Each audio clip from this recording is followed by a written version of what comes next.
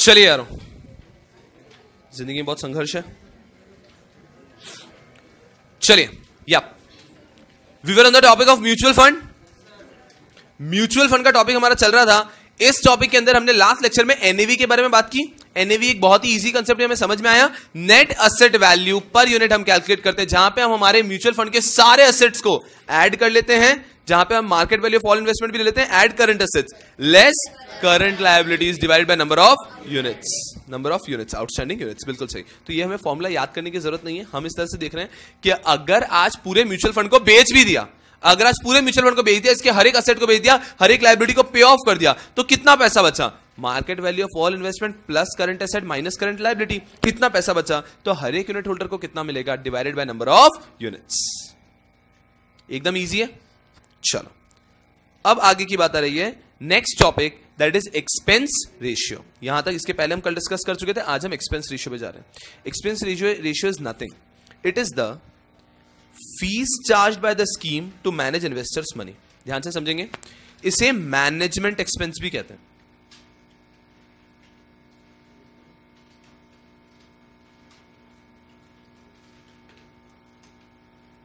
इसे management expense भी कहते हैं कि आज अगर म्यूचुअल फंड आज अगर मैं म्यूचुअल फंड चला रहा हूँ तो मेरा भी तो कुछ बेनिफिट होना चाहिए, मैं क्यों चला रहा हूँ? दुनिया के लिए तो नहीं चला रहा। तो there is going to be some fees which I am going to charge fund manager कुछ तो सैलरी लेगा। उन सबको फंड मैनेजर की सैलरी ट्रस्टीज की सैलरी यहाँ पे जो भी हमारा खर्चा आ रहा है, जो भी बिल पे करना है, आपको हमने पढ़ा था ना, एक, दो तरह के म्यूचुअल फंड होते हैं। एक डायरेक्ट एक रेगुलर रेगुलर के अंदर आप किसको अपॉइंट करते हैं? डिस्ट्रीब्यूटर्स को तो डिस्ट्रीब्यूटर को भी कोई फ़ीस कमीशन देना पड़ेगा। ये सब जो भी म्यूचुअल फंड के खर्चे हैं, उन्हें कहा जाता है एक्सपेंस रेशियो ध्यान से समझेंगे, जो भी म्यूचुअल फंड के खर्चे हैं, उन्हें कहा जाता है एक्सपेंस रेशियो आज हम, अगर किसी म्यूचुअल फंड में इन्वेस्ट करते हैं, अगर हम किसी म्यूचुअल फंड में इन्वेस्ट करते हैं तो हम ये सोच के इन्वेस्ट करते हैं हाँ कोई प्रॉब्लम ही नहीं है, वहाँ पे इन्वेस्ट करते हैं पैसा बढ़ेगा ही rather than we invest in the mutual fund let those people rather than we investing directly in the market, let those people invest in the market लोग एकदम कंफर्टेबली म्यूचुअल फंड में इन्वेस्ट कर देते हैं और गवर्नमेंट भी mutual fund को promote कर रही है। गवर्नमेंट भी म्यूचुअल फंड को प्रमोट कर रही है। कभी एक डर लगता है कि कहीं ये हमें बेवकूफ़ बनाने का तरीका तो नहीं है? हमें बेवकूफ़ बनाने का तरीका तो नहीं है कि पता चला मैंने क्या किया, आज एक म्यूचुअल फंड स्टार्ट कर लिया, समझना मेरी बात को ध्यान से। मैंने आपको कहा कि एक यूनिट दस रुपए का है, आप लोग जितना ही पैसा इन्वेस्ट करना चाहते हैं, कर दीजिए। ऐसे करके आप सब लोगों ने टेन लाख रुपीज़ मुझे दे दिए वन लाख यूनिट्स इशू किए मैंने टेन रुपीज़ ईच मेरे पास दस लाख रुपए आ गए। अब मैं साल भर ही दस लाख रुपए को इन्वेस्ट करूँगा। और मैं खुद लेता हूँ पचास हज़ार रुपए महीने की सैलरी मैंने डिसाइड कर लिया, ये फंड में मैनेज करूँ तो मैं पचास हज़ार रुपए महीने की सैलरी सैलरी लूँगा। मैं दस लाख रुपए इन्वेस्ट कर रहा हूँ, और साल भर में मेरी सैलरी कितनी हो गई है? Six lakh rupees fifty thousand a month के हिसाब से मेरी साल भर की सैलरी कितनी हो जाएगी? सिक्स लाख रुपीज़ ये तो आप बेवकूफ़ बन गए ना। साल एंड हुआ ईयर एंड पे वो जो दस लाख रुपए का इन्वेस्टमेंट था, उनमें से छह लाख रुपए तो मेरी सैलरी है। चार लाख को मैंने इन्वेस्ट कर, करके कर करके कर, करके दस लाख भी कर दिया। दस लाख भी कर दिया तो आपको तो आपका बेसिक मनी वापस मिला है ना? और मैं नहीं कर पाया, चार लाख को डबल करके भी मैंने आठ लाख कर दिया तो भी आपका तो नुकसान हो गया। सर, ये तो बहुत रिस्की चीज़ है। ये तो बहुत रिस्की चीज़ है। ये तो एक्सपेंस रेशियो हर एक म्यूचुअल फंड का देखना पड़ेगा। ये तो अभी तक आपने पढ़ाया नहीं। आपने अभी तक तो यही बोला था कि म्यूचुअल फंड में इन्वेस्ट करो। अच्छा है अच्छा है अच्छा है। अगर इसी भरोसे म्यूचुअल फंड में इन्वेस्ट कर देंगे तो ये तो एक्सपेंस रेशियो कौन देखेगा? और आप मानिए, ये तो हम सीएस के स्टूडेंट हैं या फिर कोई कॉमर्स स्टूडेंट है तो उसको थोड़ा समझेगा भी सही। आश्चर्य मार्केट में तो नॉर्मल लोग भी म्यूचुअल फंड में इन्वेस्ट करते हैं। तो देर सेबी टुक लीड ध्यान से। सेबी एक्ट में, सेबी के जो ऑब्जेक्टिव हमारे दिमाग में क्लियर है ना? प्रोटेक्ट प्रमोट रेगुलेट तो SEBI took a lead to protect the investor where in SEBI brought in a provision कि भाई साहब एक्सपेंस रेशियो का मतलब पहले बताओ। एक्सपेंस रेशियो का मतलब होता है कि जो भी खर्चा म्यूचुअल फंड चार्ज करेगा। भले डिस्ट्रीब्यूटर की सैलरी ट्रस्टी की सैलरी फंड मैनेजर की सैलरी हमारा जो भी खर्चा है। SEBI took a lead and SEBI created a restriction on the overall amount SEBI ने इस टोटल अमाउंट पे ले आया एक रेस्ट्रिक्शन सर टोटल अमाउंट पे किस प्रकार का रेस्ट्रिक्शन लाया? हम देखेंगे एकदम आराम से। ध्यान से। For actively managed equity scheme for actively managed equity scheme the total expense ratio allowed under the regulation regulation मतलब सेबी की जो रेगुलेशन है is 2.5 percent for the first thousand CR 2.25% on the next 300 CR, 2% for the subsequent 300 CR, 1.75% for the balance AUM. AUM बोले तो asset under management asset under management कि ये जो हमने पैसा रेस किया हम सिक्योरिटीज में इन्वेस्ट करें तो हमारा असेट अंडर मैनेजमेंट कितना है? सर ये क्या पढ़ा रहे हो बहुत कॉम्प्लिकेट हो रहा है एकदम आराम से। There are two question which needs to be answer there are two question which needs to be answer the first question is what do you mean the first question is, what do you mean by expense ratio? Expense ratio को लेकर आपको दो चीज़ें समझ में आनी चाहिए। What do you mean by expense ratio what is the limit on expense ratio what do you mean by expense ratio what is the limit on expense ratio तो पहले बात करते हैं what do mean by expense ratio expense ratio mean the fees charge by the scheme to manage investor money The fees charged by the scheme, कि आप लोगों ने आज म्यूचुअल फंड में इन्वेस्ट किया तो जो आपसे फ़ीस चार्ज की जा रही है, जो ओवरऑल खर्चा म्यूचुअल फंड खुद का लगा रहा है, वो कहा जाता है expense ratio it contains fees paid to trustee register and transfer agent custodian हमारा ऑडिटर और भी लोग हैं, आ जाओ। एक्सेट्रा ये क्या? बहुत बढ़िया। असेट मैनेजमेंट एक्सपेंस जो कि फंड मैनेजर चार्ज करता है असेट मैनेजमेंट कंपनी चार्ज करती है commission paid to distributor other selling expense including advertisement expense हम म्यूचुअल फंड के लिए एडवर्टीजमेंट लगा रहे हैं होर्डिंग लगा रहे हैं, वो खर्चा। Expenses on investor communication account statement dividend redemption charges warrant ये जो भी और हमारा खर्चा, उनको हम कभी रिडम्शन दे रहे हैं, हम उनको कभी डिविडेंड डिक्लेयर कर रहे हैं, वो सब खर्चा। लिस्टिंग फ़ीस म्यूचुअल फंड को हमको लिस्ट कराना पड़ता है, कौन से वाले म्यूचुअल फंड को ओपन एंडेड या close ended close ended has to be mandatorily listed sir हमें याद करना पड़ेगा क्या? नहीं ओपन एंडेड में लिस्टिंग की ज़रूरत है क्या? उसमें तो म्यूचुअल फंड खुद रेडी है ना? तो क्लोज एंडेड में ज़रूरत है तो सेबी ने क्लोज एंडेड को मैंडेटरी कर दिया। तो क्लोज एंडेड म्यूचुअल फंड है तो लिस्टिंग के टाइम पे फ़ीस भी लगेगी। उसके बाद में डिपॉजिटरी डीमैट फॉर्म में करना पड़ेगा। सर, जैसे कि शेयर्स डीमैट फॉर्म में होते हैं म्यूचुअल फंड के यूनिट्स भी डीमैट फॉर्म में होते हैं यस उनकी डिपॉजिटरी फ़ीस देनी पड़ेगी और सर्विस टैक्स देना पड़ेगा। इन सबको मिलाकर कहा जाता है एक्सपेंस रेशियो ये सब, कि पहली चीज़ तो हमारे यहाँ जितने भी लोग काम कर रहे हैं उन सबकी सैलरी होगी ना? Fees paid to trustee share transfer agent auditor registrar custodian हमारा असेट मैनेजमेंट कंपनी को जो हमने एक्सपेंस दिया, पैसा दिया, वो डिस्ट्रीब्यूटर को जो पैसा दिया, वो जितने लोग काम कर रहे हैं, उन सबका पैसा। उसके बाद में जो हमारे लिस्ट कराया तो लिस्टिंग का पैसा डिपॉजिटरी के पास देगा डिपॉजिटरी का पैसा सर्विस फ़ीस जो हमें देनी है सर्विस टैक्स देना है, वो देगा। दूसरा इन्वेस्टर कम्युनिकेशन जो हमने बताया ना, हमें हर मंथ के एंड में क्या बनाना है? फैक्ट शीट बनानी है। फैक्ट शीट बनाने का खर्चा कोई अकाउंटेंट तो रखना पड़ेगा ना बनाने के लिए। तो ये सब जो खर्चा है this is in all known as expense ratio अरे, कहने का मतलब है, आज लोग म्यूचुअल फंड को पैसा दे रहे हैं। वो पैसा असेट मैनेजमेंट कंपनी इन्वेस्ट कर रही है। लेकिन पूरा पैसा इन्वेस्ट नहीं कर सकती ना। कुछ तो उनका खर्चा भी है। तो उस खर्चे को कहा जाता है एक्सपेंस रेशियो उस खर्चे को कहा जाता है expense ratio SEBI has kept limit on this expense ratio SEBI ने इस एक्सपेंस रेशियो पे एक लिमिट लगा दी है कि सुनो भाई साहब, इससे ज़्यादा आप खर्च नहीं कर सकते। इससे ज़्यादा आप खर्च नहीं कर सकते, वरना पब्लिक को आप बेवकूफ़ बना रहे हो, उनका पैसा पूरा एक्सपेंस के नाम पे ले रहे हो आप। तो इससे ज़्यादा आप खर्च नहीं कर सकते। क्या लिमिट है वो समझने की कोशिश कर रहे हैं? आराम से। Limit is based on asset under management ठीक है, sir? Limit is based on asset under management कि अगर आपका असर अंडर मैनेजमेंट इतना इतना है तो उसके ऊपर इतना इतना आप चार्ज कर सकते हैं। ध्यान से बात करेंगे?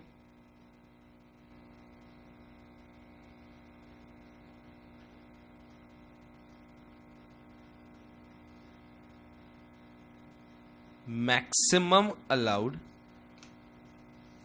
एक्सपेंस रेशियो मुझे बताइए asset under management first line में, उसके पास में कुछ लिखा है? कुछ एवरेज वीकली ऐसा कुछ लिखा हुआ है? क्या लिखा है, देखो। एवरेज वीकली नेट एसेट्स, एकदम आराम से। असेट अंडर मैनेजमेंट का मतलब होगा average weekly net asset. Asset मतलब असेट अंडर मैनेजमेंट। ये जो असेट वर्ड यूज़ किया है, इसका मतलब असेट अंडर मैनेजमेंट तो इसका मतलब हो गया average weekly net asset under management. Sir, ये ऐसे क्यों किया है? अरे, क्योंकि जो आपके नेट असेट अंडर मैनेजमेंट है, वो तो हमेशा चेंज होते रहते हैं ना।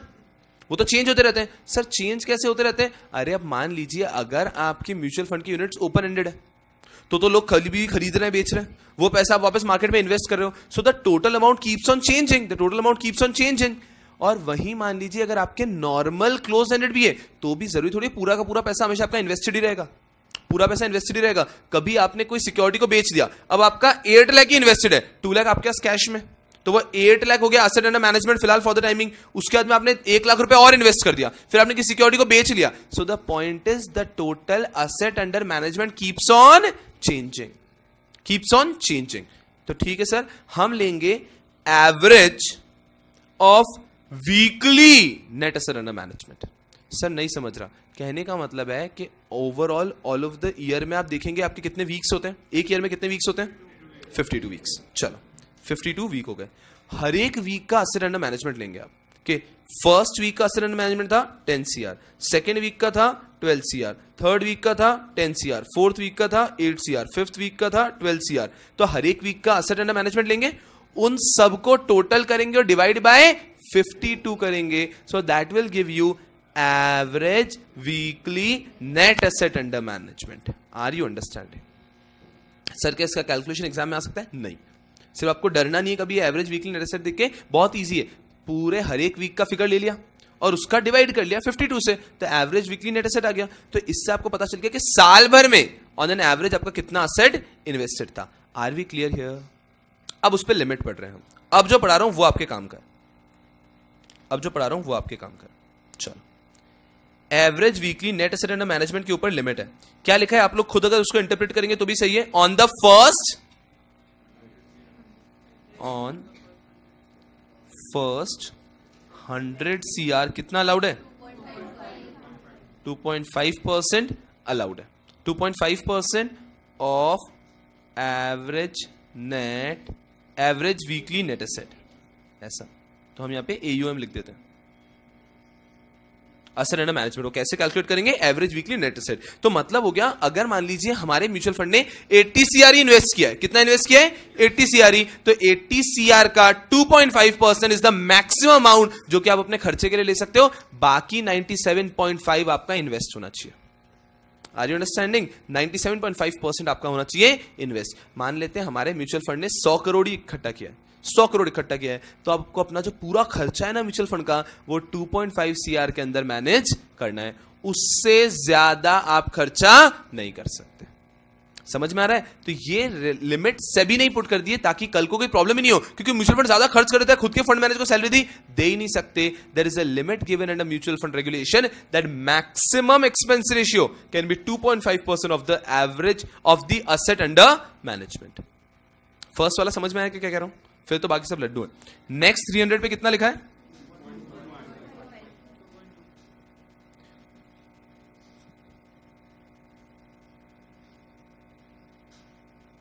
उसके सबसीक्वेंट 300 पे?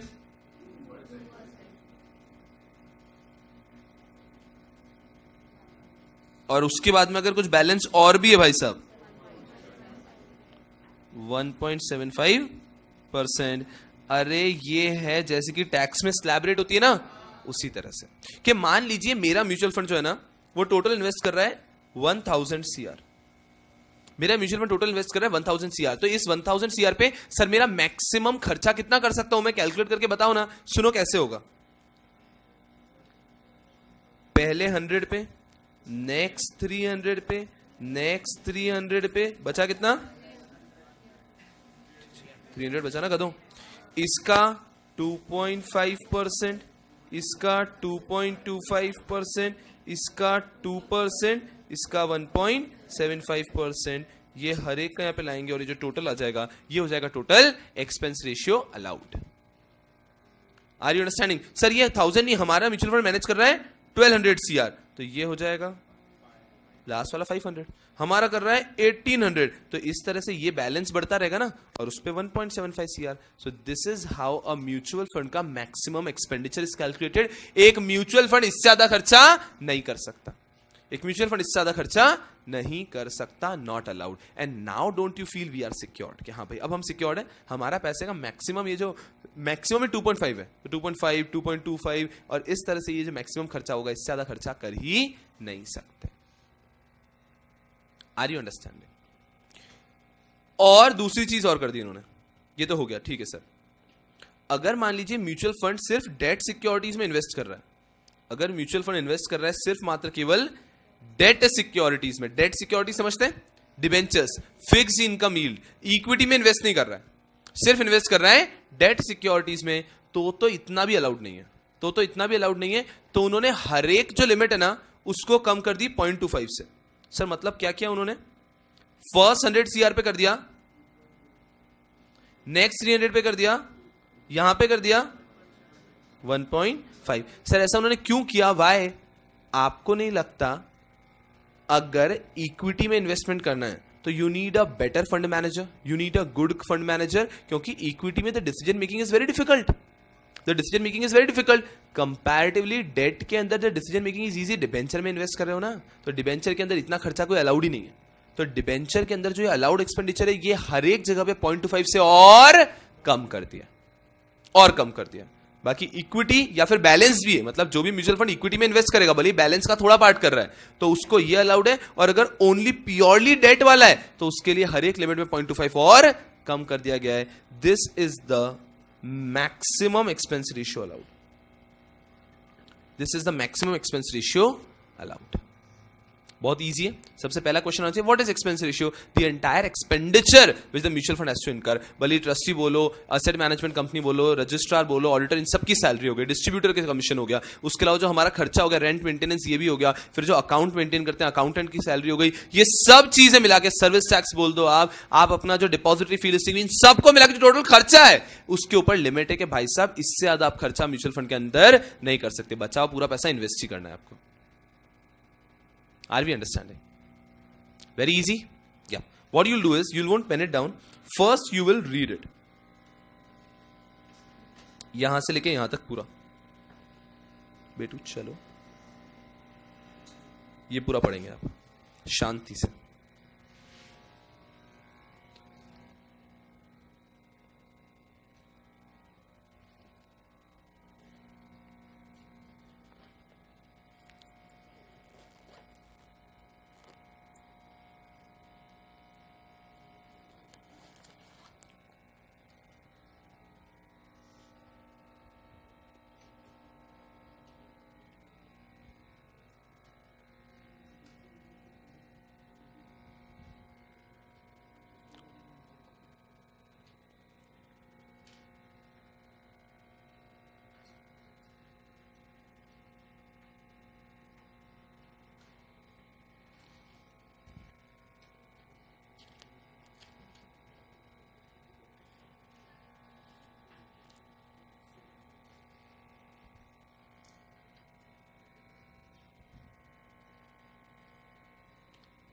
समझ में आ रहा है?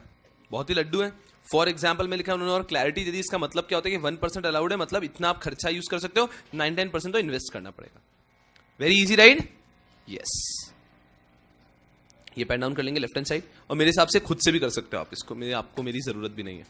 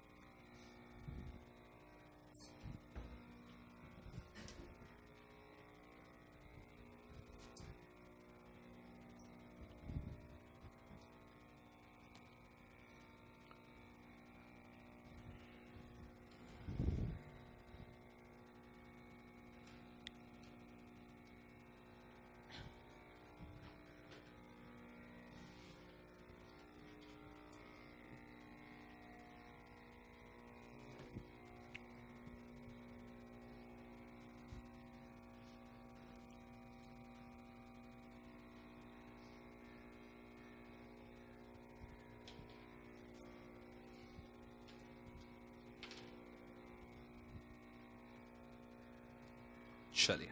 इज़ इट डन अब कुछ और बात कर लेते हैं।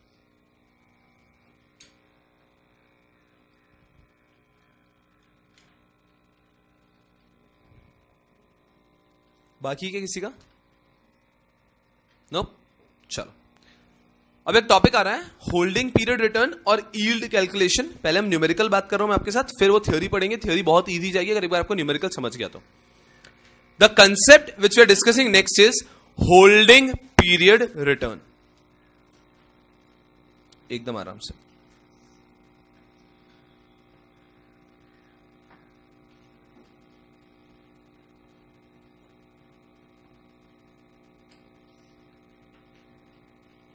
होल्डिंग पीरियड रिटर्न इसका मतलब क्या लग रहा है? एकदम आराम से।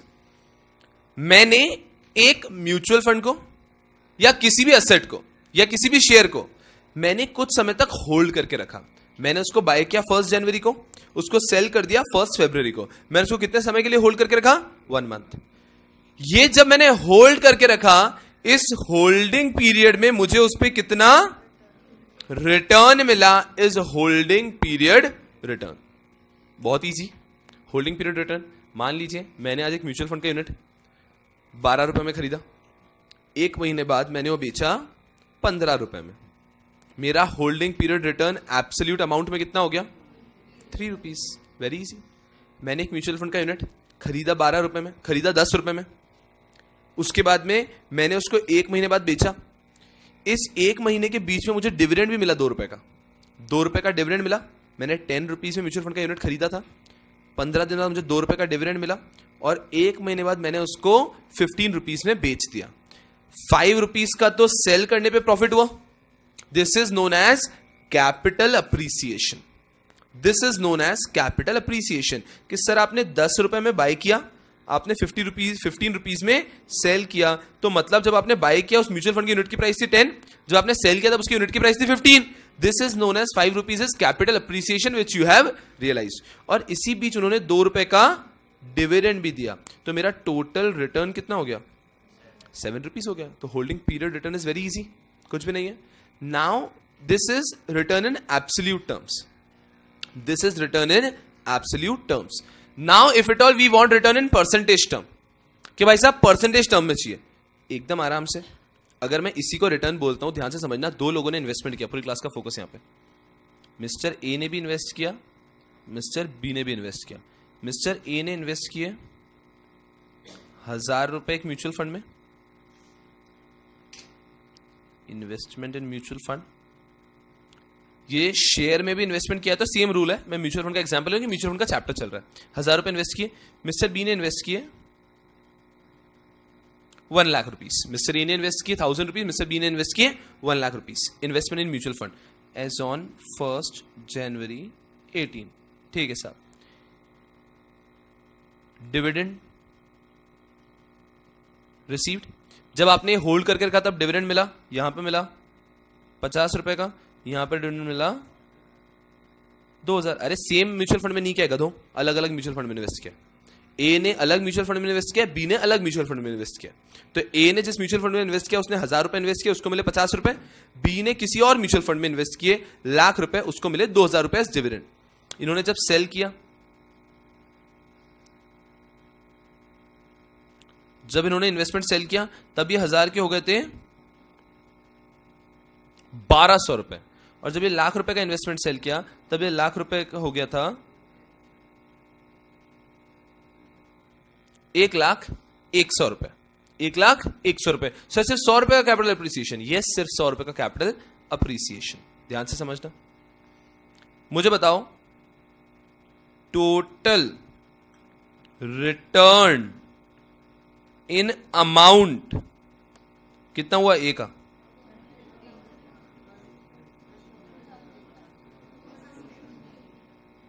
टू फिफ्टी कोई तकलीफ़ नहीं है। भाई साहब, दो सौ रुपए उसको कैपिटल अप्रिसिएशन का फ़ायदा हुआ, पचास रुपए का उसको रिटर्न मिला। यहाँ पे टोटल रिटर्न कितना हो गया? टू थाउज़ेंड वन हंड्रेड कि भाई साहब, उसको दो हज़ार रुपए का डिविडेंड मिला और सौ रुपए का कैपिटल अप्रिसिएशन मिला। यहाँ पे 250 का फ़ायदा है, वहाँ पर इक्कीस सौ रुपए का फ़ायदा है। वहाँ पर इक्कीस सौ रुपए का फ़ायदा है। ठीक है सर, बिल्कुल सही है। मुझे बताइए, किसने बेटर इन्वेस्टमेंट किया? ये कैसे हो सकता है? टोटल अमाउंट तो मुझे इसका ज़्यादा दिख रहा है ना? सर तो उसने इन्वेस्टमेंट भी ज़्यादा किया है ना? तो एक चीज़ सर हमें सीखने को मिल रही है कि सिर्फ़ अमाउंट देखकर, सिर्फ़ टोटल रिटर्न का अमाउंट देखकर हम ये जज नहीं कर सकते कि किसने बेटर इन्वेस्टमेंट किया है। हमें एक और वेरिएबल कंसिडर करना पड़ता है that is the amount of investment बिल्कुल सही है। सर हम सिर्फ़ ये चीज़ देखकर जज नहीं कर सकते कि किसने बेटर इन्वेस्ट किया हमें इसे भी कंसिडरेशन में लेना चाहिए। तो वहाँ पे कंसेप्ट आता है होल्डिंग पीरियड रिटर्न का। ध्यान से। अब सर रिटर्न कैसे कैलकुलेट करें फिर? एक काम करते हैं, हम टू फिफ्टी रुपीज़ कमाए, इक्कीस सौ रुपए कमाए। इसको ऐसे नहीं देखते। सर टू फिफ्टी रुपीज़ कमाए, हज़ार रुपए इन्वेस्ट करके और यहाँ पे इक्कीस सौ रुपए कमाए, लाख रुपए इन्वेस्ट करके, ये हो तो सर मज़ा आएगा। ठीक है? तो एक काम करते हैं फिर। Two fifty divided by thousand कि थाउज़ेंड लगा टू फिफ्टी मिला and twenty one hundred divided by one lakh ये कितना आ गया? इन टू हंड्रेड कर देंगे आप दोनों तरफ़। गाँव वालों।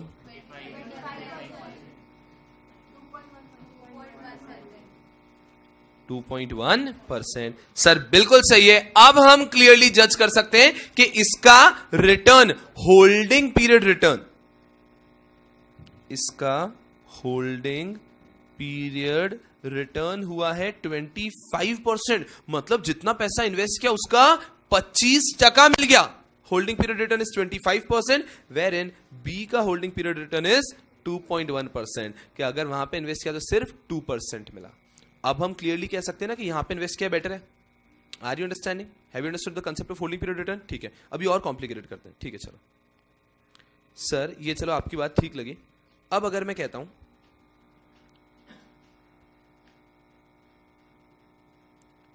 दो लोग हैं वापस। Mister A, mister B. Mister A ने इन्वेस्ट किए हज़ार रुपए। मिस्टर बी ने भी इन्वेस्ट किए हज़ार रुपए। मिस्टर ए ने इन्वेस्ट किए ए म्यूचुअल फंड में, मिस्टर बी ने इन्वेस्ट किए बी म्यूचुअल फंड में। दोनों ने अलग अलग म्यूचुअल फंड में इन्वेस्ट किया। ठीक है, सर। ये उनका इन्वेस्टमेंट हो गया। सर, कोई डिविडेंड मिला क्या? यस बिल्कुल मिला। यहाँ पे डिविडेंड इन्होंने इन्वेस्टमेंट किया है। वन वन एटीन के दिन। वन वन एटीन के इन्वेस्ट किया।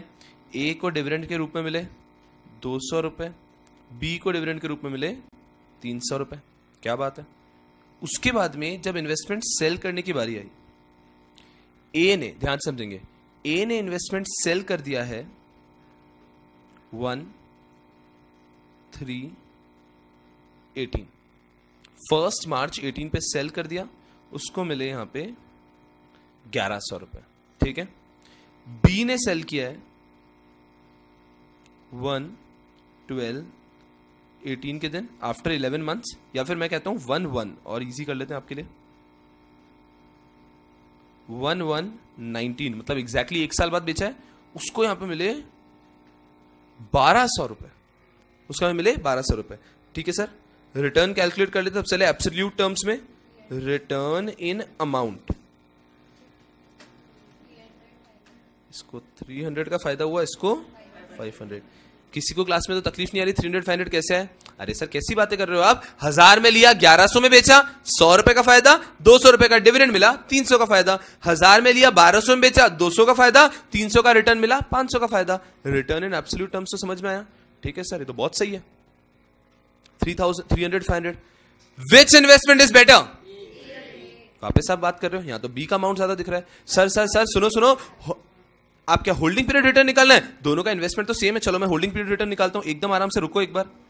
होल्डिंग पीरियड रिटर्न निकाला मैंने। 300 डिवाइडेड बाय थाउज़ेंड कितना आ गया? 500 divided by thousand fifty percent कैसी बातें कर रहे हो? बेटर दिख रहा है। सर देखो, सुनो यार। होल्डिंग पीरियड रिटर्न से भी हम सेटिस्फाइड नहीं है। क्यों नहीं है? सर उसमें भी आपने टाइम पीरियड तो इग्नोर हो जाता है ना?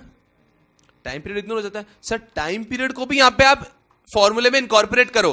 तब जाके हम कह सकते हैं हमें भी लग रहा है माना इसने 50 परसेंट दिया बट इसने 50 परसेंट दिया वन ईयर में, और इसने 30 परसेंट दे दिया टू मंथ्स में। तो सर, आपको इसे भी कंसिडरेशन में लाना होगा।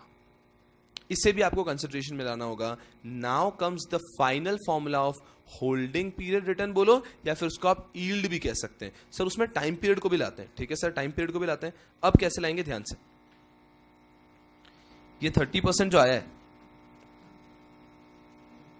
ये जो थर्टी परसेंट आया है, एकदम आराम से, ये आया है, ये आपको दो मंथ में मिला है।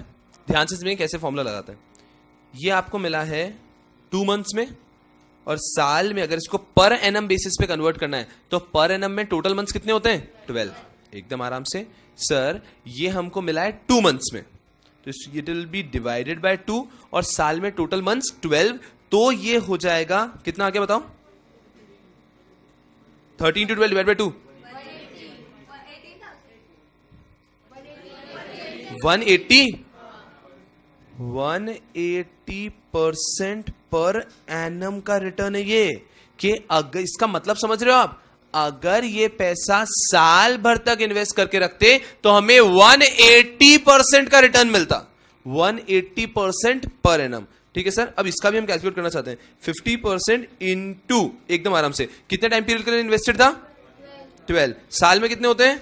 12 12 12 50 परसेंट पर एनम किसी भी रिटर्न को अगर आपको पर एनम कैलकुलेट करना है तो you need to multiplied by 12 and divided by जितने मंथ्स के लिए ये इन्वेस्टमेंट किया था, इस तरह से आप उसका ईल्ड कैलकुलेट कर पाते हैं पर एनम बेसिस पे। कि साल भर इन्वेस्ट करके रखते हैं, इस सेम रिटर्न पे तो कितना मिलता? तो मिलता 180 percent that is how you calculate yield that is how you calculate perfectly holding period return are you understanding इसके अंदर अब इस फॉर्मूले में सब कुछ आ गया। इस फॉर्मूले में इन्वेस्टमेंट भी आ जाता है। इस फॉर्मूले के अंदर हमारा जो पीरियड है, वो पीरियड भी आ जाता है। थोड़ा थोड़ा समझ में आ रहा है? एक क्वेश्चन देता हूँ। एकदम तबियत का, वो ट्राई करते हैं सॉल्व करने का। अगर हो जाता है तो मज़ा आ जाएगा, नहीं हो जाएगा तो फिर मैं हेल्प कर दूँगा। चलो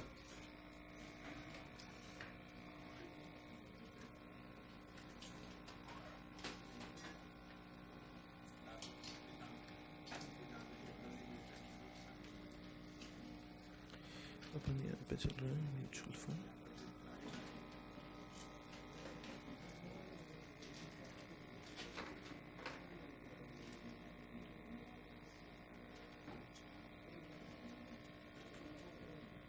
चलिए। इस क्वेश्चन को सॉल्व करने की कोशिश करनी है। एकदम आराम से देखो। रफ में कर लो, कोई प्रॉब्लम ही नहीं है। आपको सिर्फ़ मुझे एक्स का वाई का और जेड का, तीनों का आपको मुझे ईल्ड बताना है। या फिर होल्डिंग पीरियड रिटर्न कह सकते हो आप। वो आपको कैलकुलेट करके बताना है।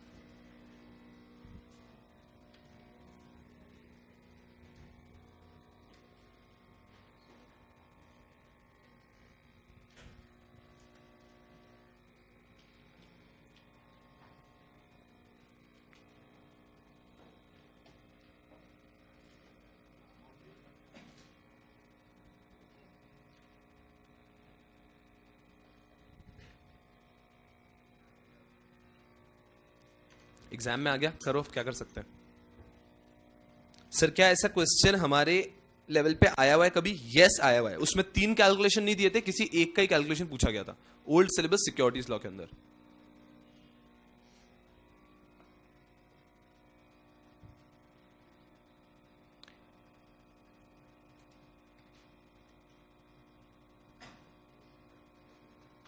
सबसे पहले एक्स का कैलकुलेट करेंगे।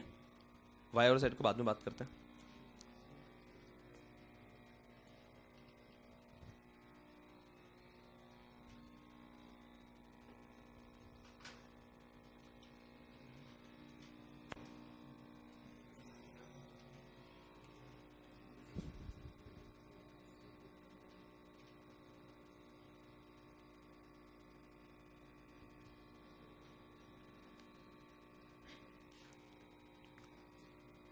सिर्फ़ एक्स का ट्राई करना है आपको।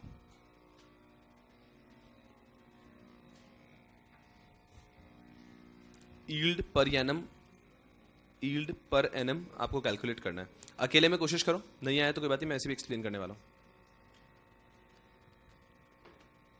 एक बार कोशिश करके देखो।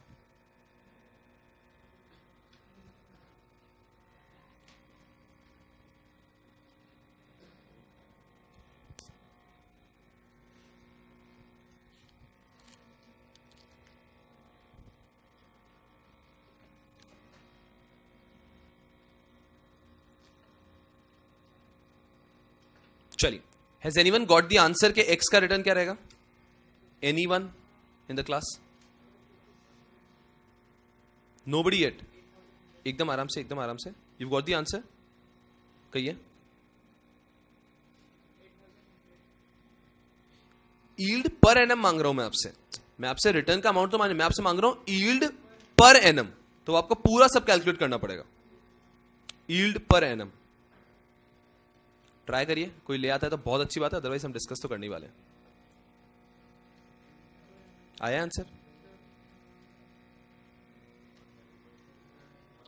स्टेप्स कैसे रहते हैं? एक से इधर देखो। सबसे पहले आप कैलकुलेट करेंगे रिटर्न का एब्सोल्यूट अमाउंट कि इस व्यक्ति ने हुआ क्या क्वेश्चन क्या ध्यान से। क्वेश्चन डिस्कस कर रहा हूँ, अभी भी एक्स आप ही को सॉल्व करने के लिए दूँगा मैं। एक्स के अंदर एक व्यक्ति ने रमेश गोल ने इन्वेस्ट किया एक्स म्यूचुअल फंड में, उसमें उसको कितना रिटर्न मिला है कैलकुलेट करना है। उसने फ़र्स्ट दिसंबर 2016 को इन्वेस्ट किया। आज क्या डेट है? थर्टी फ़र्स्ट मार्च टू आज डेट है थर्टी फ़र्स्ट मार्च टू उसने इन्वेस्ट किया ये। तो कितने टाइम पीरियड के लिए इन्वेस्टमेंट रखा है? फोर मंथ्स के लिए। वो तो खैर एंड में यूज़ लेते हैं अपन। छोड़ो। उसने इन्वेस्ट कितना किया? One lakh rupees one lakh rupees जब उसने इन्वेस्ट किया, तब रेट क्या थी? एनएवी समझो। At the date of investment उसने 10.5 के भाव से खरीदे म्यूचुअल फंड। उसने 10.5 के रेट से म्यूचुअल फंड खरीदे। उसने वन लाख रुपीज़ इन्वेस्ट किए और 10.5 की रेट थी तब। अब जब वो थर्टी मार्च की बात कर रहे हैं, तब एनएवी कितने की है 10.4 की। फ़ायदा हुआ क्या नुकसान हुआ? 10.5 में खरीदा 10.4 में बेचेंगे। आज की मार्केट वैल्यू के हिसाब से नुकसान हुआ। और अभी तक का डिविडेंड कितना मिल चुका है? 1900 तो सबसे पहला क्वेश्चन सर हमें देखना पड़ेगा कि इसके अंदर कैपिटल अप्रिसिएशन या फिर नुकसान कितना हुआ है, वो कैसे कैलकुलेट होगा? हमने वन लाख का इन्वेस्टमेंट किया divided by ten point five मतलब nine five two three point eight इतने यूनिट्स हमने खरीदे। इतने यूनिट्स हमने खरीदे। आज इन यूनिट्स को बेचेंगे तो कितने बेच पाएँगे? Ten point four into ten point four nine nine zero four seven मतलब पॉइंट सेवन सिक्स तो इसको अपन राउंड फिगर में nine nine zero five zero भी ले सकते हो आप। माइनस ये हमको आज पैसा मिलेगा और हमने इन्वेस्ट कितना किया था? वन लाख तो नाइन फिफ्टी रुपीज़ का आपका नुकसान हो चुका है। एकदम आराम से आपका लॉस हो चुका है नाइन फिफ्टी रुपीज़ का। पहले आप आराम से सोचो आपका टाइम लो और मुझे बताओ कि ये लॉस कैलकुलेट आप कर पा रहे हो, नहीं कर पा रहे हो। कि म्यूचुअल फंड वन लाख में खरीदे थे और 10.4 में बेच रहे हैं तो हमारा लॉस हुआ है 950 का। साथ में हमारा बेनिफिट ये हुआ है कि हमको डिविडेंड मिल गया है 1900 का तो हमारा नेट लॉस कम हो गया। 950 का ही बचा। नेट प्रॉफिट हो गया हमारा 950 का। कोई जल्दबाजी नहीं है। हर एक जना खुद से कैलकुलेट करके बताओ कि आप ये कर पा रहे हो कि नहीं कर पा रहे हो। ये लॉस 950 का कैसे आया, समझा है कि नहीं समझा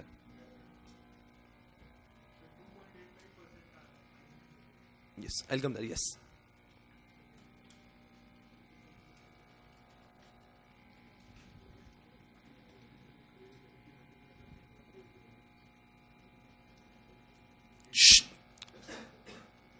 मैं वापस समझाऊँगा इसे कोई टेंशन की बात नहीं है पर अभी खुद से ट्राई करिए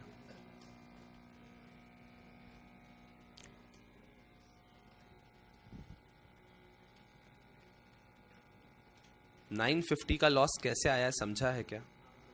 आज मैंने एकदम आराम से एक लाख रुपए का इन्वेस्ट कर दिए आज मैंने एक लाख रुपए इन्वेस्ट कर दिए। जब एक लाख रुपए इन्वेस्ट किए, तब मैंने टेन पॉइंट फाइव के रेट से इन्वेस्ट किया।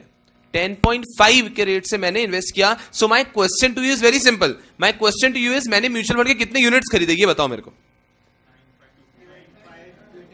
One lakh divided by ten point five.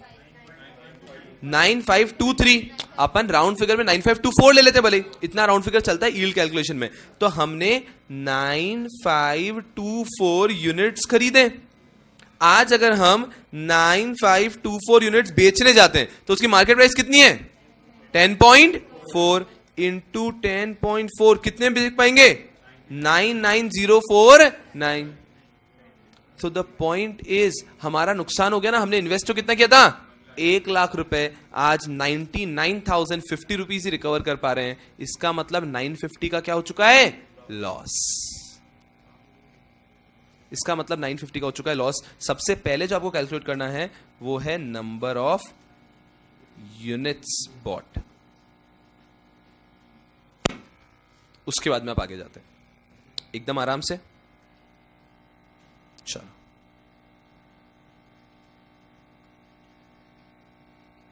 पूरी क्लास का फोकस यहाँ पे। सबसे पहले स्टेप में आ गया। आप इन सब की कैलकुलेशन में सबसे पहले कैलकुलेट करते हैं number of units bought number of units bought आप कैसे करते हैं कि भाई वन लाख का इन्वेस्टमेंट किया है और वो हमने कितने में किया? टेन पॉइंट फाइव में। तो हमारा आ जाता है one lakh divided by ten point five nine five two four nine five two four units हमने खरीदे।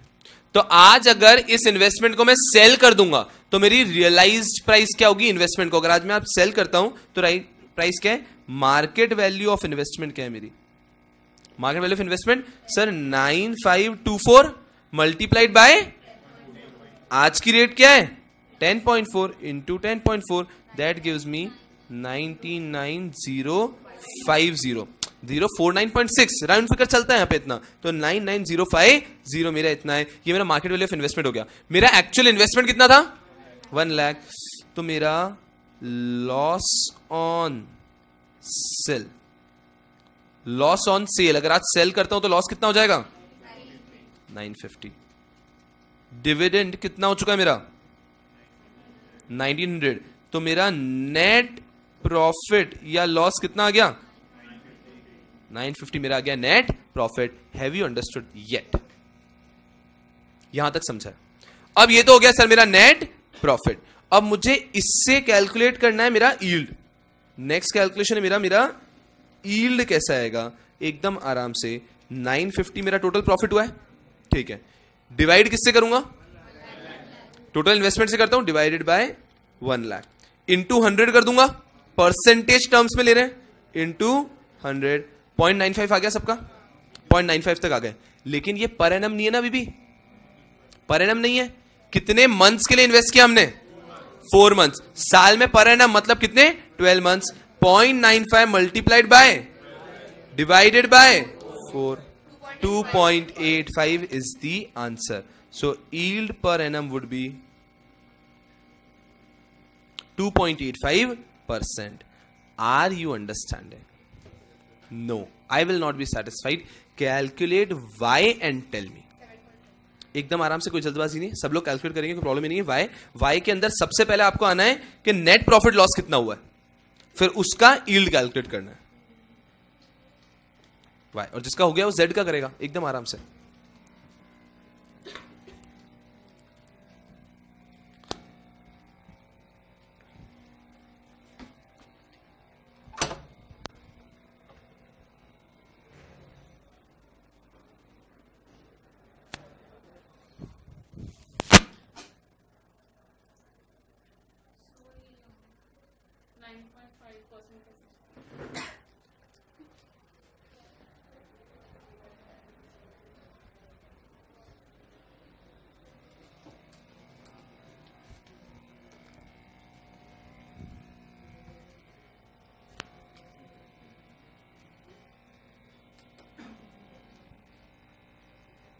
चलिए, मैं किसी से भी पूछूँगा।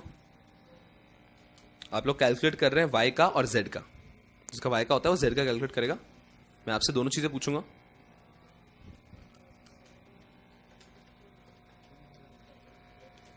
सो so, जेड में तो हाँ कैलकुलेट करो जो भी है। लॉस का परसेंटेज कैलकुलेट करना है अगर जेड में लॉस है तो।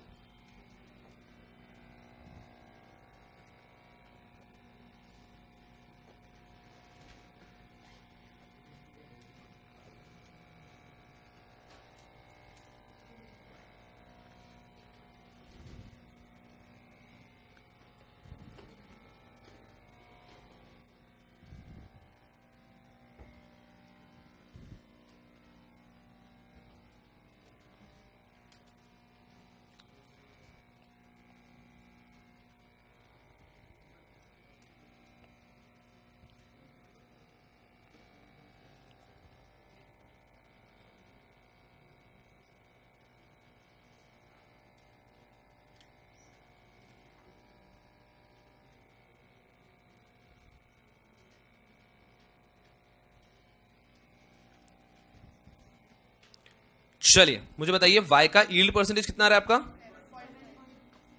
सेवन पॉइंट फाइव और कुछ आंसर है? टेन परसेंट भी आंसर है। और कोई? सिक्स सिक्स परसेंट भी आंसर है। और कोई? ये आंसर है इसके अलावा किसी का कोई आंसर है तो बोलो एकदम आराम से। मटका किसी का भी लग सकता है। टेन तो आ गया ना, जो आ गया उसके अलावा। चलो। टेन आ गया, राजा बेटा। जेड के अंदर क्या आया? ट्वेंटी फोर, एक आंसर है दूसरा। सिक्स, और बोलो। और कुछ? सेवन। यही है। Twenty six. और ये प्रॉफिट आया लॉस आया ये लॉस का परसेंटेज है। ईल्ड में नेगेटिव ईल्ड आई है। ठीक है, सर। एकदम आराम से। अब स्टेप बाय स्टेप जाते हैं। जिनका गलत हुआ, समझेंगे कैसे गलत हुआ। सबसे पहले वाई के अंदर मैं पूछ रहा हूँ, कितने यूनिट्स खरीदे?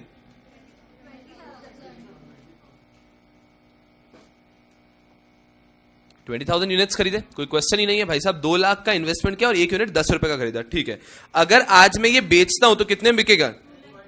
Twenty thousand into ten point ten तो ये आज बिकेंगे टू लैख टू थाउज़ेंड में। सो लॉस ऑन सेल या फिर यहाँ पे प्रॉफिट ऑन सेल प्रॉफिट कितना हो जाएगा? टू थाउज़ेंड का प्रॉफिट हो गया। डिविडेंड मिला है क्या? थ्री थाउज़ेंड तो टोटल प्रॉफिट कितना हो गया? कोई व्यक्ति है जिसने यहाँ पे गलत किया? गलती की तो गलती समझ में आई। कोई ऐसा है जिसको यहाँ पे समझ में भी नहीं आ रहा, मेरा गलत कैसे हुआ है? सबको समझ में आ गया? फाइव थाउज़ेंड कैसे है चलो सर फाइव थाउज़ेंड तक हम पहुँच गए। अब सवाल आना है ईल्ड तक, एकदम आराम से। सबसे पहला सवाल फाइव थाउज़ेंड मेरा कितने पीरियड के लिए इन्वेस्टेड है? उड़ गए कुछ लोग जिन्होंने देखा ही नहीं था ये। जनवरी में इन्वेस्टमेंट हुआ है first January January February March three month के लिए इन्वेस्टेड है। Five thousand divided by two lakh very good two lakh into hundred into twelve divided by three that gives you the answer of ten percent जिनका गलत हुआ है, गलती समझ में आई है? सर, हमने ये देखा ही नहीं। गलती है। समझ में आ रहा है? वो लोग पहले से उड़ गए जेड के अंदर। समझ में आ गया क्या गलत हो रहा है? ठीक है, चलो। अब जेड की बात करो तो सेम सबसे यूनिट्स टेन थाउज़ेंड यूनिट्स जो लोग गलत है यहाँ पे ध्यान दो, एक बार कोई प्रॉब्लम नहीं। टेन थाउज़ेंड यूनिट्स उसके बाद में मार्केट वैल्यू आज क्या हो जाएगी? Ninety eight thousand nine lakh eighty thousand ninety eight thousand? Ninety eight thousand. तो मुझे बताओ, मेरा प्रॉफिट ऑन सेल हुआ है लॉस हुआ? टू थाउज़ेंड का हो गया लॉस और कोई डिविडेंड मिला क्या? नील तो मेरा नेट प्रॉफिट या लॉस आ रहा है? लॉस ऑफ़ टू थाउज़ेंड ठीक है? टू थाउज़ेंड का लॉस है। इसमें मेरा इन्वेस्टमेंट कितना लगा? One lakh into hundred two percent into twelve divided by one कुछ भी नहीं। ट्वेंटी फोर परसेंट का आपका लॉस आया so it is negative twenty four percent. Have you understood एक फॉर्मूला भी आपको आयात करने की ज़रूरत नहीं है। एकदम बस लॉजिकली समझो, सबसे पहले अपन को अमाउंट ऑफ़ लॉस कैलकुलेट कर लेना है। अमाउंट ऑफ़ लॉस पे आ गए। फिर ऑफकोर्स भाई साहब, अगर मैं इन्वेस्टमेंट नहीं लूँगा। तो तो हम कभी कंपेयर ही नहीं कर सकते। हमने ए और बी का एग्जांपल लिया था कि अगर उन्होंने अलग अलग अमाउंट इन्वेस्ट किया तो हम उनको कंपेरेबल ही नहीं है। तो फिर उनका इन्वेस्टमेंट डिनोमिनेटर में ले लिया। फिर पर एन कैलकुलेट करना है तो, multiplied by twelve divided by number of months invested are you understanding या now I want you to pen down a question कहाँ पे पेन डाउन करेंगे सर आप पेन डाउन कर सकते हैं ट्वेल्व पॉइंट इलेवन पे। ट्वेल्व पॉइंट इलेवन पे ऊपर ऊपर पेन डाउन कर लीजिए। ट्वेल्व पॉइंट इलेवन पे मैं कुछ भी नहीं लिखवाने वाला हूँ एनीवेज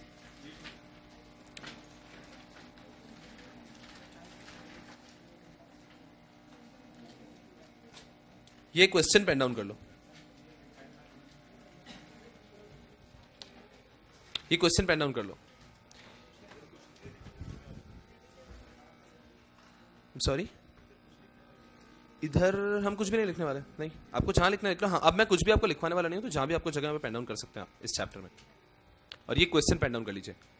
ये क्वेश्चन और लास्ट क्वेश्चन देखा, वो वैसे सीए का क्वेश्चन है, लेकिन सीएस के अंदर आया हुआ है क्वेश्चन उसके अंदर एक ही मतलब जैसे कि इसमें दो कैलकुलेशन है, पिछले क्वेश्चन में तीन था, वैसा एक कैलकुलेशन है तो लॉजिक तो वही लगाना है सिंगल डबल ट्रिपल पे। तो कोई प्रॉब्लम नहीं है। पूरा क्वेश्चन मैं डाउन कर लेंगे that's it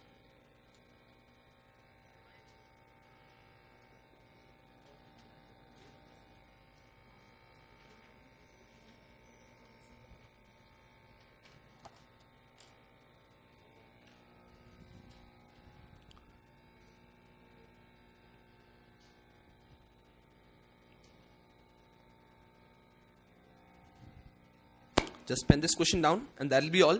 Uh, next lecture में विल बी डिस्कसिंग इसका आंसर आपको इसका आंसर सिर्फ़ रफली कैलकुलेट नहीं करना है. आपको जैसे कि ये कॉलम है ना उसके नीचे कॉलम बना लेंगे आप. और जैसे कि यूनिट्स अमाउंट इन्वेस्टमेंट और वो column wise proper structured format में आपको सॉल्व करने की कोशिश करनी है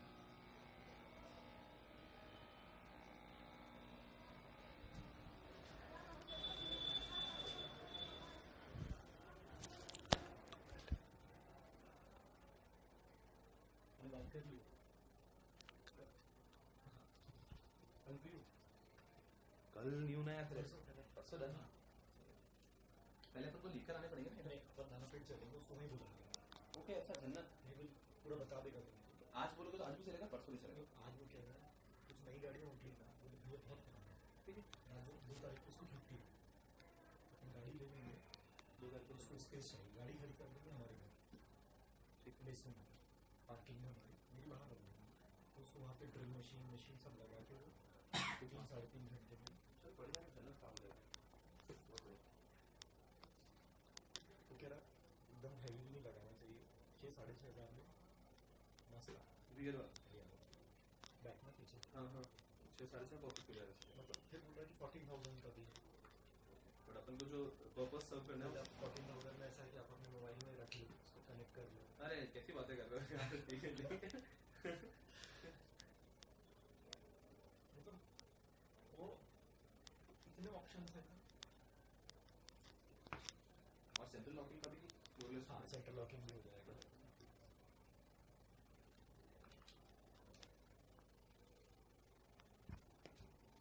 ये क्वेश्चन पैटर्न कर लिया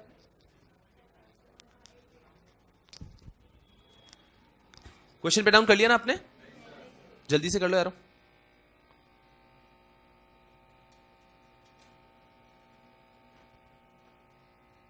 And pen it down that will be all for the day